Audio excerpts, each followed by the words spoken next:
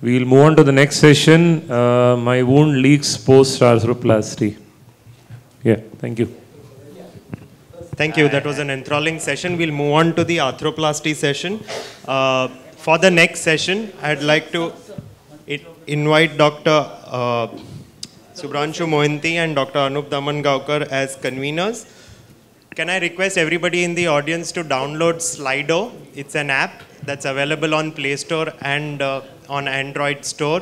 Slido will enable us to run real-time audience polls, S-L-I-D-O, and once you download it, WIROC Max, W-I-R-O-C-M-A-X, uh, is the login password keyword. I'll request uh, Anoop to take over. Yeah, so without much ado, uh, let me welcome our chairpersons for the session, Dr. Rajesh Dharia and Dr. Rakesh Nair. Can we have uh, them on stage? And for the panel, let me invite our panelists, Dr. Unmesh Mahajan, Dr. Sanjay Londhe, Dr. Rajkumar Natesan,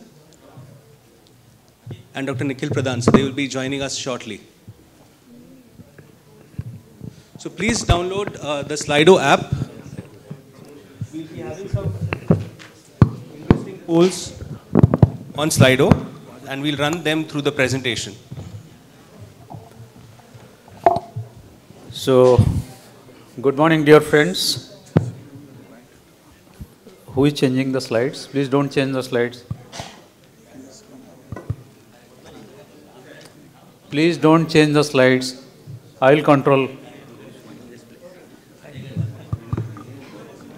Okay. Good morning, dear friends. So, we are running five minutes late now. So, we'll be uh, trying to compensate it, but uh, hopefully that we have prepared it for 45 minutes. So, we'll be completing little late. So, as you know, the most, uh, you know, dreaded complication after arthroplasty is the leaking wound. And that's what we are going to discuss it today. Because if you see the literature, there is no uniformity of accepted definition of wound leakage. That how you define that there is a, it's a leaking wound. And second point is that there is lack of evidence uh, based on the clinical guidelines for diagnosis and treatment of a leaking wound. So there are two important things which is lacking in the literature. That's why we are here with our experts so that we can throw you some guidelines on this. But from the literature, it is the wound is considered to be persistently leaking when it continues for more than three days after the index arthroplasty, and it requires a surgical intervention probably if the leakage persists beyond five to seven days. However, there is an you know, international consensus meeting on infection which showed Javad Parvizi et al. They have mentioned that persistent wound leakage as a wound is leaking more than 2 into 2 centimeter. That means the dressing is soaked more than 2 into 2 centimeter for at least more than 3 days. Then you tell that the wound is leaking. And one need to do a wound care, bed rest, pressure bandage, and or, or antibiotics, but they recommended that one should not inadvertently just uh, switch over and give a higher antibiotics. They are against the use of antibiotics in a persistent wound leakage. So this is the background knowledge in the literature. Based on that, we have our experts today. I am Shubhranshu Mohanty from Mumbai, and along with me, Dr. Anoop Dhamangaonkar is the convener for this session. We have Dr. Nikhil Pradhan, uh, rather Mr. Nikhil Pradhan from UK, consultant orthopedic surgeon. Nikhil is a good friend. And uh, Dr. Rajkumar from Coimbatore, all the way from Ganga Hospital. Dr. Unmesh Mahajan from Nagpur and uh, Dr. Sanjay Londhe from Mumbai. So we have an expert of panelist here and we have two expert chairpersons with us, Dr. Rakesh Nair and Dr. Rajesh Dharia from Mumbai to guide us and uh, to monitor in our presentations. So now through the Slido, I don't know how far you are acquainted with the Slido, the first questions which I am going to ask all of you that why leaking wound is important. Leaking wound after TKR is associated with increased risk of wound infection, decreased risk of wound infection, no risk associated with wound infection, and 100% risk of wound infection. What, what we are worried about the infected total joint replacement, correct? So leaking wound associated with uh, this, one of these you have to select. Okay, can we have the... Can we have this project? We have 10 seconds to answer this. If you are not acquainted with Slido, then uh, can we raise your hands? Okay, project that on screen, please. Those who are in favor of uh, in option one, No, the QR code. Just scan the QR code and you can just put in your poll or we can have a show of hands. okay. So it's pretty easier question just to you know warm you up that there is increased risk of wound infection. That is why we are worried about leaking wounds. Next, little difficult question. You know, as you know from the literature, leaking wound delays in the discharge of the patient. There is prolonged hospital bed occupancy. It is frustrating for the patient as well as the family. There is economic increased economic burden on healthcare and society, and persistent wound oozing after joint arthroplasty has been shown to be associated with increased risk of infection. So, how to prevent, you know, to for the joint to go into the infection? Let's go to the second question. Which of the following is associated with less perioperative oozing after TKR? Less. Epidural anesthesia, spinal anesthesia, pre-emptive analgesia, and periarticular anesthesia. Can we have the poll?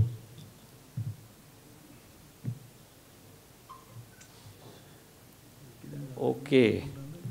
So 100% people tell that, uh, you know, okay.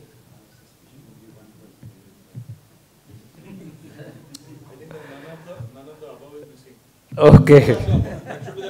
But if you through, go through the literature, the periarticular local anesthesia has got a less oozing of the wound. So subvastus approach, periarticular local anesthesia and shorter tourniquet time. These are the three factors which are important for a less of wound oozing. Then we will go through the other factors. Let's go ahead with them presenting the cases. So we'll discuss four cases here. And the first case, uh, I would invite Dr. Anoop to present the first case. Yeah, thank you, sir. Uh, so the first case is a case of a 69-year-old gentleman. Uh, he had presented uh, to me with a valgus lax knee. He was on DMARDs uh, and he had got pain and instability more on the left. So this was his uh, gait video. So mind it that his ligaments are lax uh, with significant medial laxity. He's got recurvatum as well. So his tissues are pretty lax.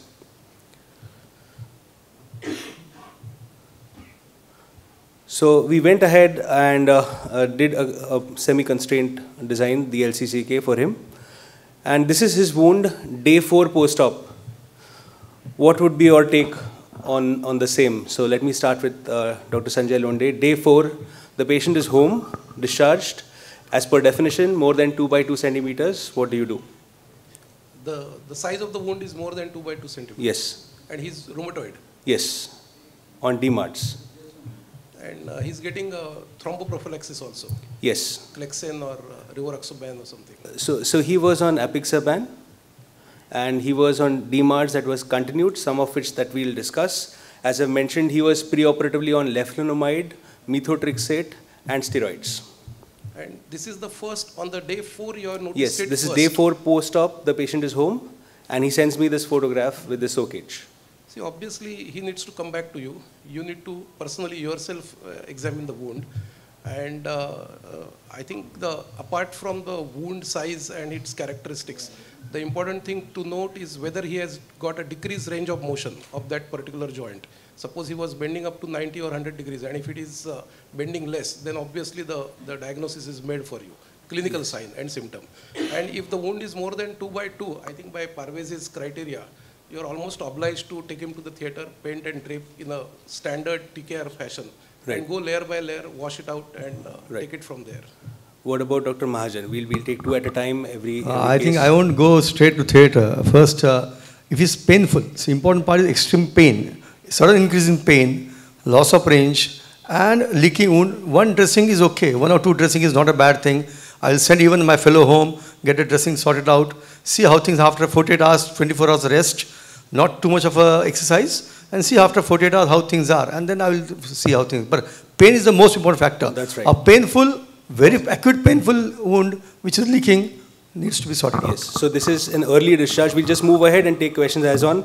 As suggested, I, I sent my uh, dresser home for dressing, a trained uh, dresser with me. But these are a few points that we would want to consider. Would you consider or incriminate DMARDs uh, to de- uh, wound healing? This patient had significant diffusion, if you've noted, preoperatively as well. Would you stop steroids? Uh, because these patients are known to flare up if they are not on steroid uh, post-operatively. Uh, my observation, there are two types of joints. One is a huge capacity inside. Once you open the thing, this large synovium is almost a half liter of fluid there, and one is very dry ones. Those with large joints, they always fill up eventually and can, can cause leakage. Right. And some people don't have at all those things. So those are the ones, but I think I won't stop DMARD more than 10 days. And steroids, yeah. I think they have to be given steroids because otherwise they're going to withdrawal. So what is sorted out with the rheumatologist has to be done. Yes. About uh, about DMARDs, Dr. Pradhan, Mr. Pradhan, what would you say? So I wouldn't stop any of your medication. None of them, not even. None of them. I would say that if you are dealing with these patients, operate with them without a tourniquet, so that you have hemostasis from the start. It's very difficult to get hemostasis once the implant is in. So I would say for these patients, start without a tourniquet, and then if you've caught all the bleeders to start with, you will have uh, less chances of a huge hemarthrosis. What Unmesh said is absolutely right. But I think with that first case where you're seeing an opening, we do have a low threshold for you using what we call as a PICO dressing, which is a suction dressing, and that tends to keep the wound dry. Clinically, if you're not suspecting infection, you could give it a couple of days. But if you're suspecting infection, you're better off just going in. Right. So about DMARDs, uh, yeah, before before you move on, most important point is that you know what uh, panelists suggested. You will send the fellow, you send your dresser Personally, I would like to check the wound myself. If you are a surgeon, you must call the patient, you check the wound because the assessment of the inflammation around the wound, you know, these are the critical assessment that whether to intervene, not to intervene, this is your decision. So personally, I think a surgeon should check down. Yes, just, please. Just uh, uh, one more thing. Yeah. Uh, in this, first when we see this kind of, first time when we note, as uh, he asked about the thromboprophylaxis, it is better to stop for a day or two and then see and sometimes it slowly it comes down. So we should not jump Perfect. in and think Perfect. that it's an infection. And avoid flexion or active physio. Yeah. yeah. So and put, him, the, put the patient on a knee brace, yes. avoid uh, movements, CPM, Perfect. all those things. Give some rest. Many a times it will settle down. Right, right. So we move on about DMARDs. Understand that there is an increased risk of infection, therefore be aggressive in RA. Uh, Post-op flare-ups are common. Methotrexate is given up now that we have to continue that. Leflunomide also we continue as an immunomodulator. Tocilizumab, it's worthwhile waiting for a month before surgery. Tofacitinib, widely marketed and used these days, to be stopped for seven days preoperatively. This is the latest literature. We come across SLE cases as well. Non-severe ones, that's what we tackle with for uh, joint replacements. Tacrolimus and mycophenolate. Uh, you withhold, whereas tacrolimus you can continue. Okay, so these are about uh, uh, the, the DMARDs. Uh, what about intraoperative factors? We've discussed uh, the tourniquet. Uh, Dr. Dharia, what about the drain? Would you keep the drain in these patients because they have flare-ups? I was just going to ask you that. So, I was just, when did you remove the drain? Uh, it was third day. So, 48 hours and we removed How much it. was the, So, first day, typically they throw up around 110 cc of, of, uh, effuse, of, of drain. Next day, they go down to almost 30 to 40 cc and third day they have less than 15 cc. That's the typical pattern in, in RA that so I've seen. So that's what happened in this case as yes, well? Yes, nothing is uh, special. We had a dry drain and then we removed it. Yeah, these are, uh, obviously one would keep a drain in such yes. patients. It is very mandatory to keep it and as monitor, you know, as you've done it. So yes, that's a good. Dr. Nair, what about uh, anticoagulants? We've used NOACs here. I don't use anticoagulants, so in this case, I would say we would stop it anyway for a day or two. Right. And I wouldn't be very aggressive on the day four. On this, I would wait successive dressings and then take a watch and decide what to do next. Right. So about tourniquet, we have decided that yes, in these cases we may keep it, but there is an overall increased risk of infection and increased blood loss, and transfusions and hospital stays do increase. Regarding anticoagulants, just a few quick few points. Uh, is a direct thrombin inhibitor. It is the most uh, dreaded or incriminating drug for post-operative ooze, hence use with, uh, with, with extreme vigilance. Apixaban, though we are rampantly using right now, it has been licensed FDA-wise for VTE treatment, not for VTE prophylaxis, though we are still using it. Uh, the treatment or VT prophylaxis, uh, Xarelto is what is recommended or FDA approved, and the remaining we can definitely use them. So this is about the NOACs. Uh, be very careful of, of using direct thrombin inhibitors. So uh, next case. So this is my case. Uh, typically, these RA patients have got a history of repeated injections in the past, and hence I make it a point to send multiple samples during the operative uh, procedure as well. Is that a practice that we follow uh, normally in your practice, Dr. Londhe? Sir?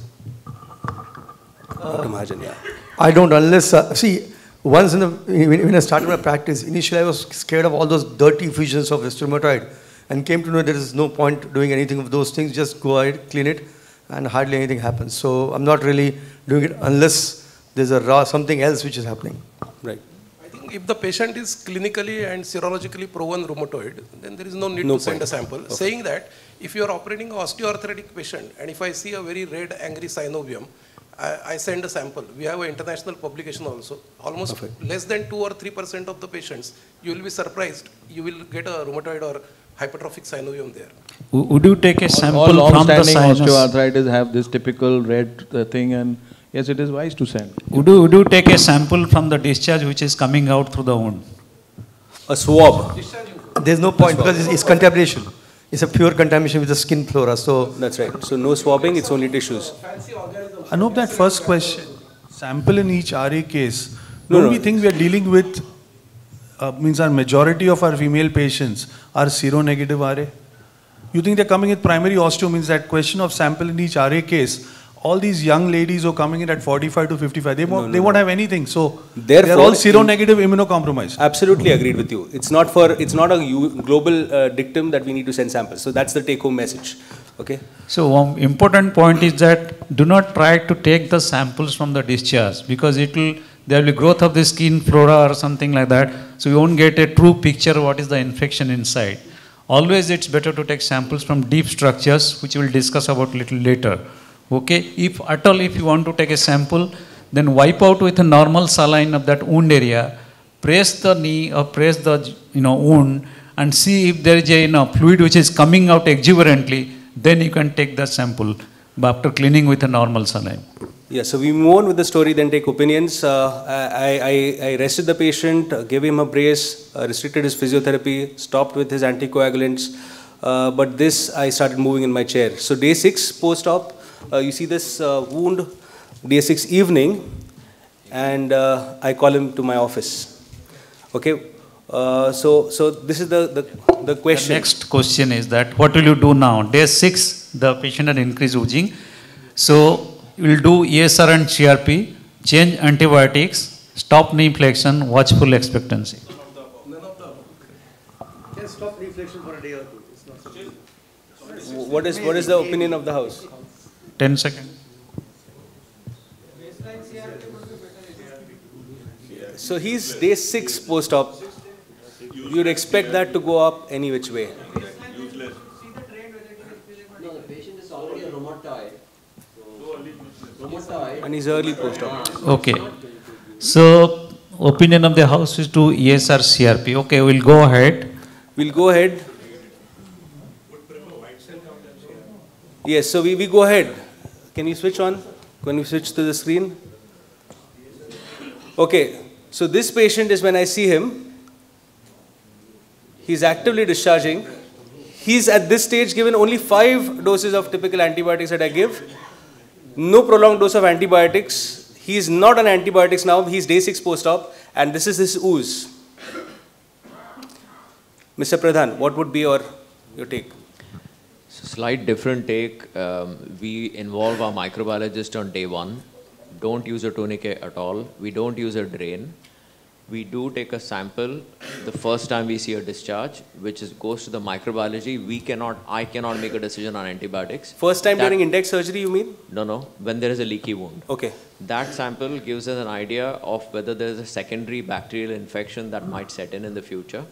We do do an ESR because that gives a baseline ESR for future. It will be raised, but it gives us an idea of what to do, say on day six. So now you've got a day two discharge, and then you've got a day six discharge. You see a difference in, ES, in, in ESR. We don't put them on antibiotics. We, we just, antibiotics cannot be given until you open the wound. Dr. Rajkumar, So- what would be your take also? Yeah, see, uh, here this looks more of an hematoma collection which is coming out. If you see the swelling, the picture, it is not so much induration is not there. Perfect. It doesn't look like a frank infection. So there is there is a hematoma kind of thing coming out. Yes. So we need to either we that has to come out uh, that has to come out because this is not going to stop. So this is the situation where without doing much you just give a small washout, clear off all the residual hematomas, clotted bloods inside, and then clean it up nicely. This will settle. If we don't do that, this patient rheumatoid immunocompromised on steroids, the chances of infection goes in. So this is not infected, but the swelling is little huge. So Perfect. So point well taken. If you have a serous uh, serosanguinous discharge, which is early perioperatively, there's an entity called liquefying hematoma. And uh, what I did for this patient, that's what I expected. If you look at his labs, his proteins are very low. His hemoglobin is low and proteins are basically incriminated. You'll see that very commonly in your CKD patients as well. So if they are low on proteins, they have an entity, they have got a, a hematoma which is liquefying and it keeps on leaching every time. On top of it, we have put in staples, which is again contrary to uh, the philosophy of, of, of uh, leaking wounds, where we possibly might use uh, sutures. Okay, so in those particular cases, what would be your choice of uh, So before nutrition, contrary to our belief, ESR and CRP will not give you a diagnosis. So rather pre-operatively ESR and CRP should have been done. In, in each and every patient of knee or hip arthroplasty, do a ESR CRP pre-operatively, which will be your baseline ESR and CRP. And it takes about three weeks, you know, after surgery the ESR CRP increases because of high in- inflammatory markers and it settles down at three weeks time. And later on ESR CRP may be helpful, but not within three weeks time. But before we move on to, Dr. Londhe has got some publications in uh, about CRP. Would you share with the delegates? Actually, I was uh, caught with this type of situation. I think all of us have caught up with this situation. Patient coming back at about four weeks or six weeks, little bit of hot, warm joint. Uh, patient complains of some pain, and we do a CRP, and the CRP is high. And then we, I look at the literature.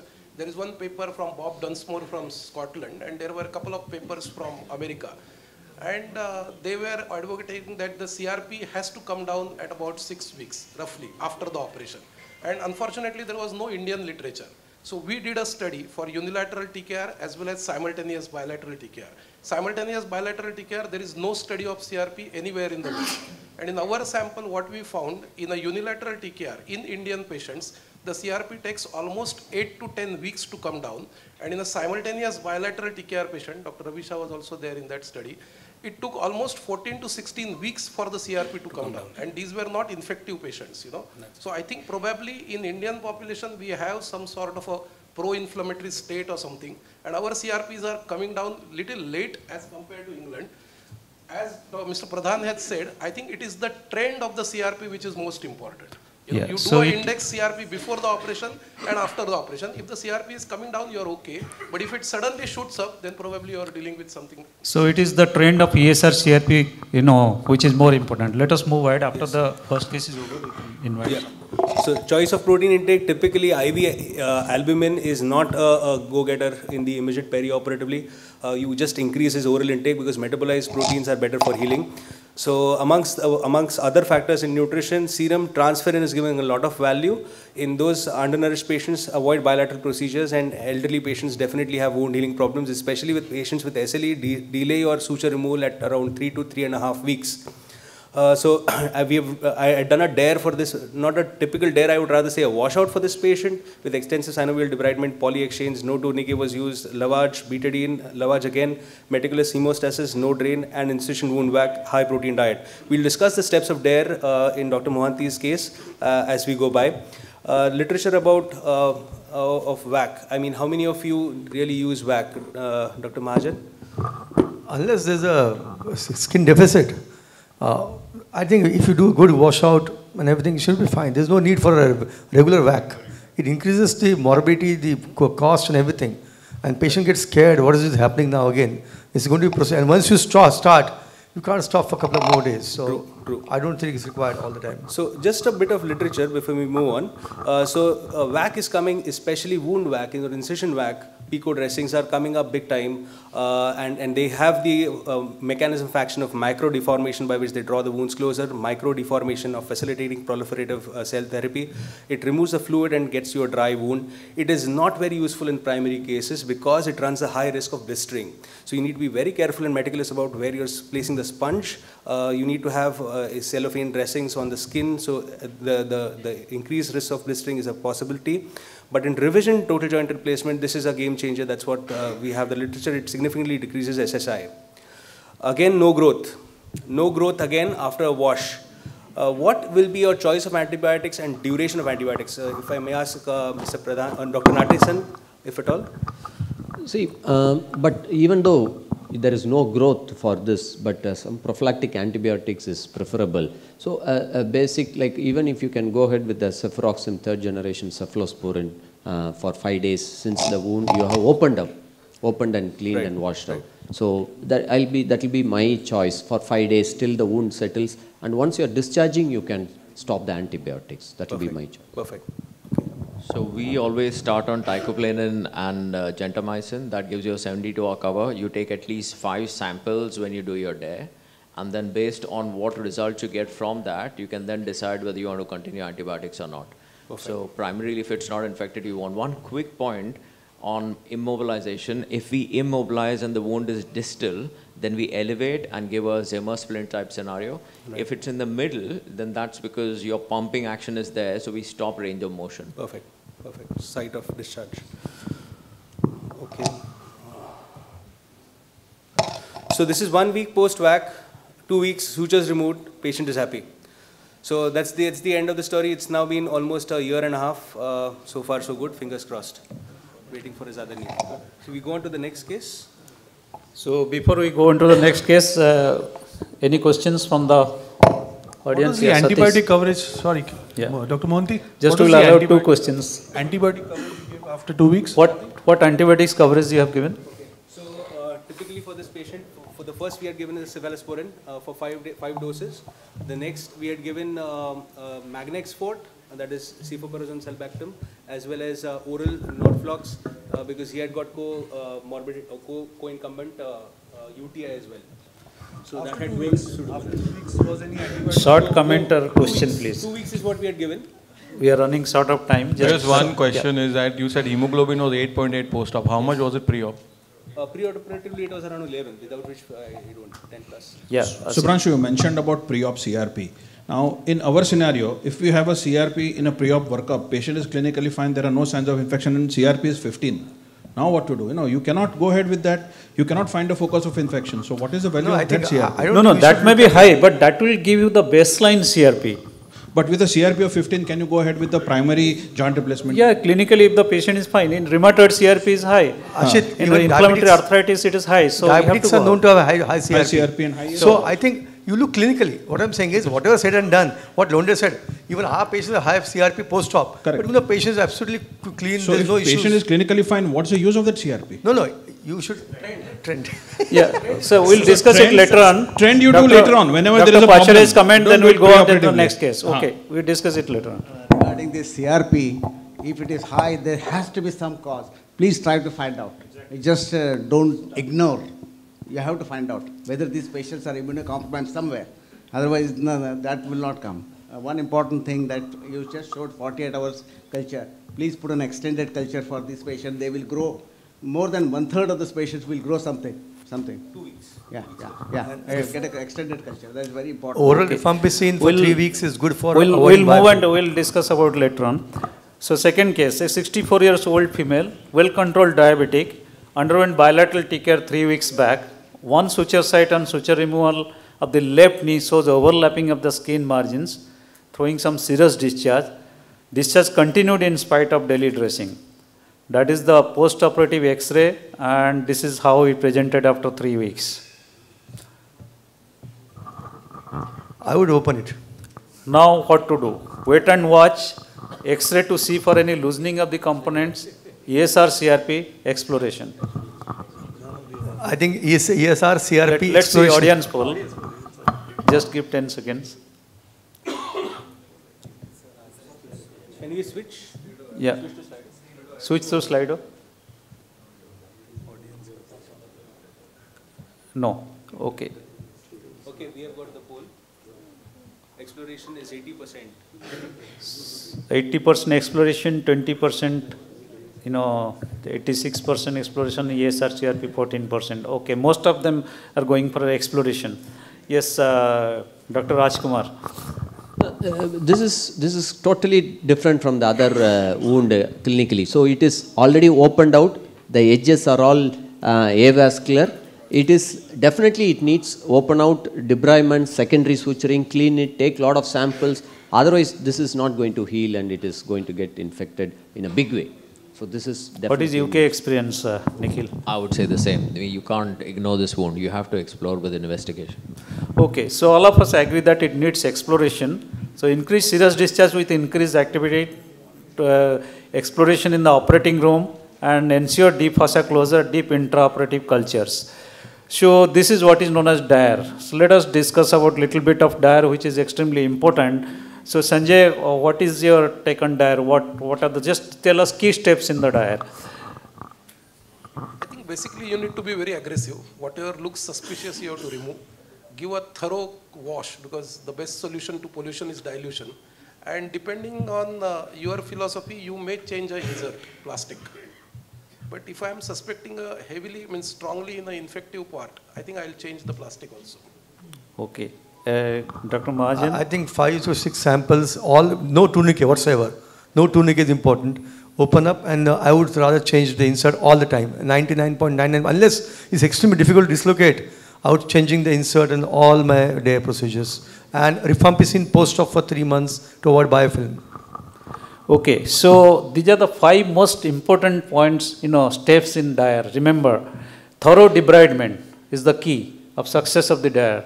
Next, exchange the, you know, mobile parts. If it is a monoblock, you know, tibia, of course, you cannot do. But whenever you do a lot of synovectomy and take out everything, joint becomes little lax. You have to extend the polyethylene. That's why you have to keep, keep all these trial polyethylene you know, thicker polyethylene trial components as well as the original components pertaining to that particular implant. And uh, you have to, you know, curate out at the metal cement interface or cement bone interface because there the granulation tissue, you know, erodes or uh, do erodes through the bone and causes osteolysis.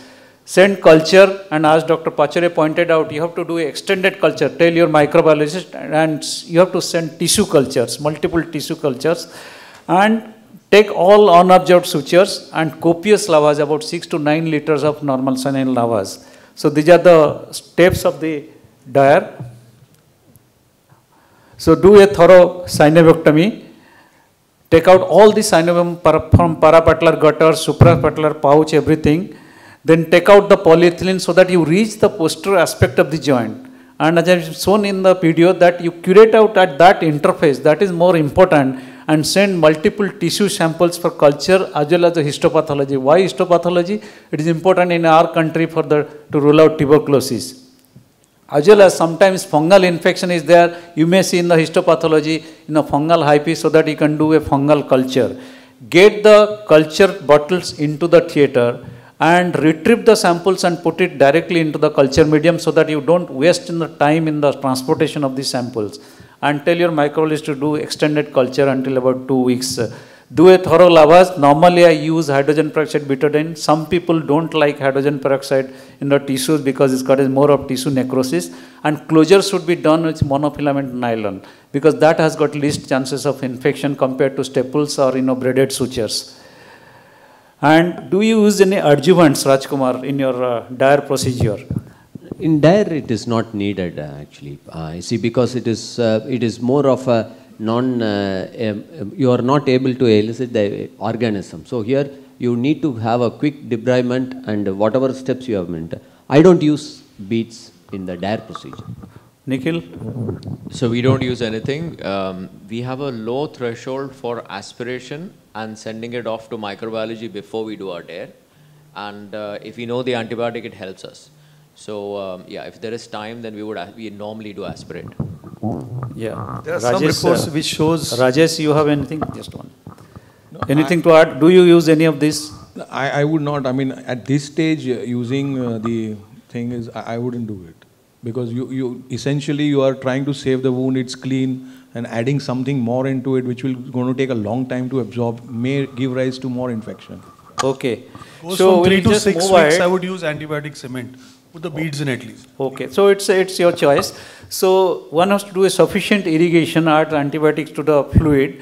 Use a pulse lavage in low pressure. Don't use in a high pressure because high pressure would introduce the infection to the deeper structures. And anti-biofilm agent, one should use one of these, acetic acid, benzalkonium, chlorhexidine. Nowadays we are using chlorhexidine in the normal saline mixed with normal saline because that is considered as an anti-biofilm agent which will take out the biofilm. And local antibiotics, I put calcium sulfate pellets along with antibiotics, but uh, you know that varies from as you can see from the panelists. Some people don't use it, but I put in the deeper structures like suprapatellar pouch, parapatellar gutters, and the posterior aspect of the joint, so that to take care of the local infection. Some people put PMM beads, collagen fleece, all these structures. So this is the same patient, 64 years old female, bilateral sequential TKR. This is a DAIR procedure done with a you know polyethylene, thicker polyethylene and the patient is infection free for about four and a half years now. Now that is the function of the patient, almost 100 to 110 degree, you know, uh, flexion. Now before you go on to the next case, any questions from the audience? Yes, sir. Dr. Vaidya.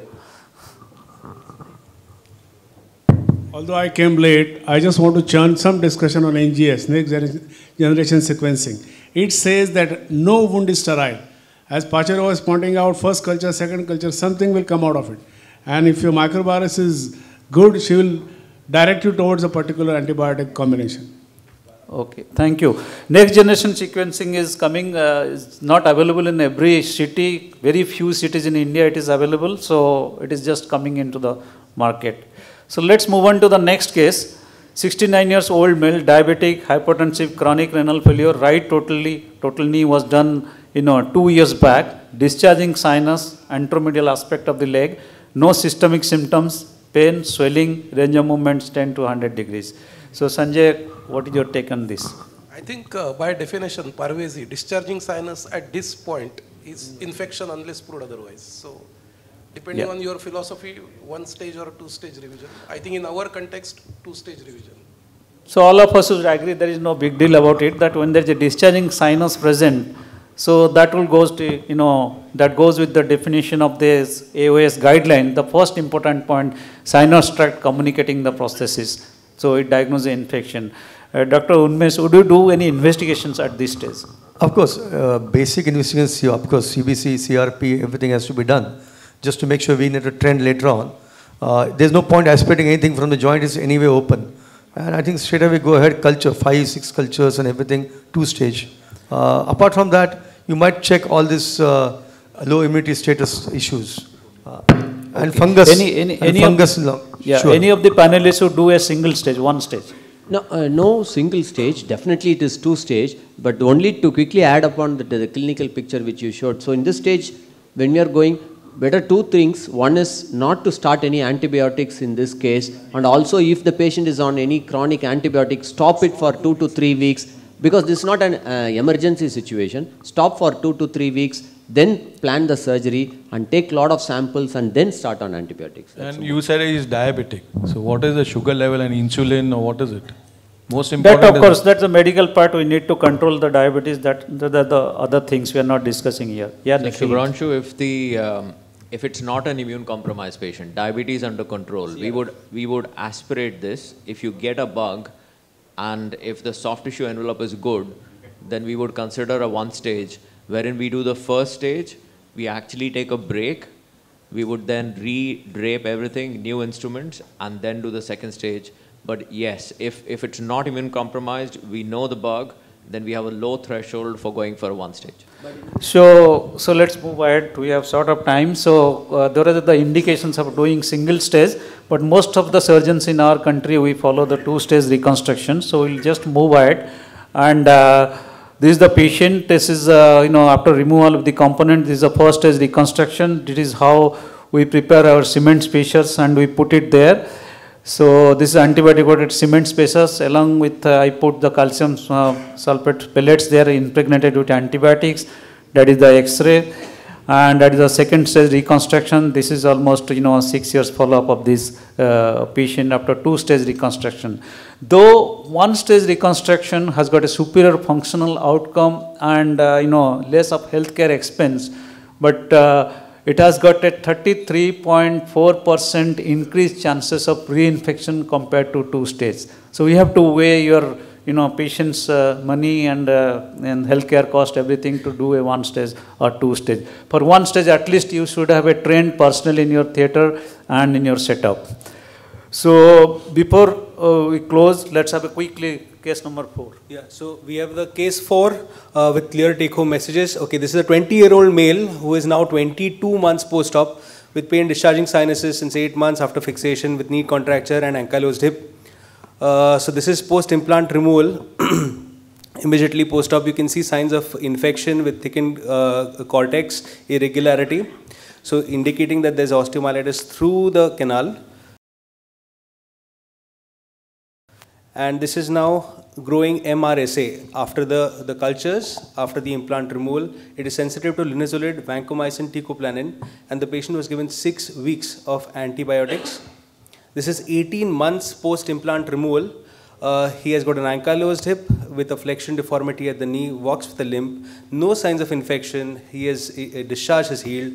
Uh, CBC, ESR, uh, uh, CRP are normal. Uh, what would be your plan? He wishes a good function? I think uh, I would give him a fair chance of hip replacement provided he understands this high risk of infection.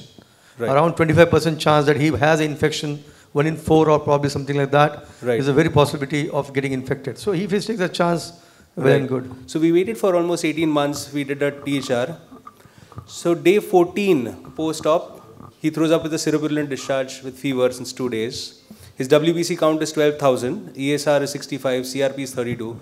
Again, the culture grows MRSA. Sensitive to the same kind of drugs. He underwent debridement, vancomycin, Stimulan beads at that time. But after this culture grew, he was given IV teicoplanin for 8 weeks and oral rifampicin for 3 months. So Dr. quick one on this. Yeah. So you, did, we would have screened the patient for MRSA before the second stage, pre-op? Yes, the, so he was yeah. all clean. He was aspirated. He was clean that was negative. And you had a bug which you knew, so we would have put him on antibiotics for yes. three months post-op. Yes. Uh, After the first implant removal, yes, we knew the bug. We did After the total hip, we would have put him on the same antibiotics. As per the culture pattern, yeah. No, for three months post-op, irrespective. Okay, okay. Now, I, uh, looking at the this one, I was about to tell. See, it's almost like fused uh, hip yes, there. It is a fused hip. Young, young chap, intramedullary osteomyelitis, 18 months is not too uh, good time to go ahead and do a THR. I will wait. In fact, I will wait for some more time because osteomyelitis proven intramedullary, it is high chance of infection. Good point. So I would not uh, do a THR. Good, good take home point. That is why, remember this intramedullary infection, what Dr. Rajkumar is mentioning is extremely important. That's how it leads to recurrence of infection. So while doing total hip replacement, I would put intramedullary Stimulan along with, you know, vancomycin, etc. so that, you know, less chances of infection at least. Whether go for a first stage or a second stage. So Please intramedullary drug delivery system in the medullary canal is important and know the bug. MRSA is the worst bug that you can find because it is just persistent as far as infection goes. So this is three months post-op. Patient is walking comfortably, he has well-fixed implants, but still he has got an on and off discharge. This is nine months post-op, still on and off discharge.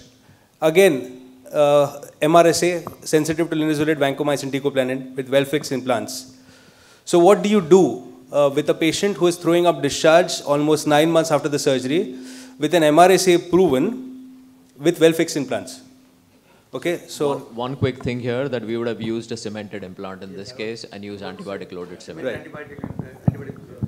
That's the ENDO-Klinik. So right now, redebridement, retain the components, two-stage revision, excision arthroplasty, watchful expectancy. Okay. So uh, a quick review. There is no proof of eradication of infection in most of these cases. Uh, be sure of that. It's worthwhile to wait at least for two years uh, before you complete uh, the second stage or a definitive procedure. Uh, when we have MRSA, even a DAIR procedure is likely to fail. Not including rifampicin is the biggest mistake with MRSA. So always use rifampicin. Always use two antibiotics at least. Rifampicin with quinolones is, has the highest success rate. We can use linezolid, but bear in mind the renal toxicity, and daptomycin is definitely promising. So before we conclude, uh, let's have one or two questions regarding the antibiotics. You know, though rifampicin and quinolones, these are the two antibiotics which are effective against the biofilm. But uh, in our country, at least we keep rifampicin as a reserve antibiotics because of you know development of resistance. Because our country, you know, patients are more prone to tuberculosis and all. We don't want to develop a rifampicin resistance among the community. So I prefer to use quinolones, which is you know better tolerated. Oral form is available. That's why quinolone is preferable than rifampicin uh, in these cases. One or two questions. Yes, Satish, you wanted to ask something. One second, Satish. It's, it's a very arbitrary question. There is no fixed time limit, but at least 18 looks little shorter. Like you wait for a couple of years, like two years, three years, because his hip is already fused. So 18 months, if radiologically the intramedullary infection has not progressed, all the markers are quiet. I think that is long enough to wait for osteo. No, one in four chance of infection. You have to understand that but part. will that reduce he- by he- waiting 24 months? Yeah, at least you, you are safer. Now, like, yeah, the chances. Okay, we have to we have to close the session. Just a short comment. Yeah. Uh, just, I want to ask one question. What should you do or what is mandatory before you do the hip replacement? Would it not be prudent to sort of check intramedullary sampling? Get MRI, get MRI of the hip, MRI of the shaft. Yeah, the whole MRI thing. will give us an indication check. of bone marrow edema. we'll discuss. We'll discuss about it later. Uh, Also, they used to say in the past, five years post-infection settling, you should wait. I would agree with that. That's the Rajkumar that difficulty, 18 months you know, is low, situation when but there are you- resistant You organisms could do which an. MR, an MR or you could do a SPECT scan. So be, let us, before we close, take home messages. First thing is that the time to dryness of the wound after a joint replacement depends on the wound length, body mass index, estimated volume of blood in dissected tissues, and length of hospital stay. It is not associated with duration of surgery or ASA grade of the patient. Second thing is systemic comorbidities affects the healing. For diabetics, the perioperative euglycemia is extremely important. At least on the first postoperative day, if your sugar or uh, HGT level is less than 140, then very unlikely the patient is going to develop a wound discharge. Rheumatoid disease, renal liver disease, corticosteroid medication, poor nutrition. Your pre-op serum albumin level should be more than 3.5 and serum transferrin should be more than 200. That should be the level. Otherwise, improve it. HIV patients, CD4 count should be more than 200, and one should ideally quit smoking before joint replacement surgery. The third is that if there's a superficial serous discharge, there's thin serosanguinous discharge, one need to take local wound care, immobilize this patient, avoid knee flexion. If there's superficial infection, thin serosanguinous with cellulitis, do a operative debridement, give antibiotics. Sometimes in a suture material also stitch abscess, these are told on stitch abscess. If there's deep serous discharge, thicker serosanguinous discharge, do a operative debridement, do a proper fascial closure, what is known as DAIR procedure. But if there's a deep infection, thicker purulent discharge, you have to do a operative debridement, antibiotics, and do a two-stage reconstruction. I thank you all of you for attending this session. We thank all our panelists and chairperson, and we close the session and hand over to the organizers. Thank you very much. If, uh,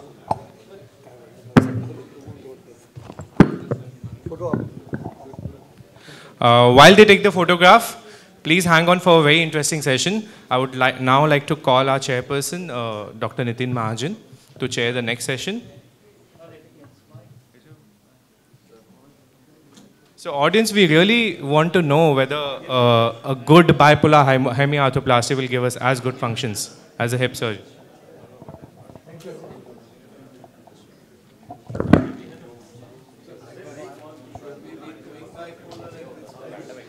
That will know, sir.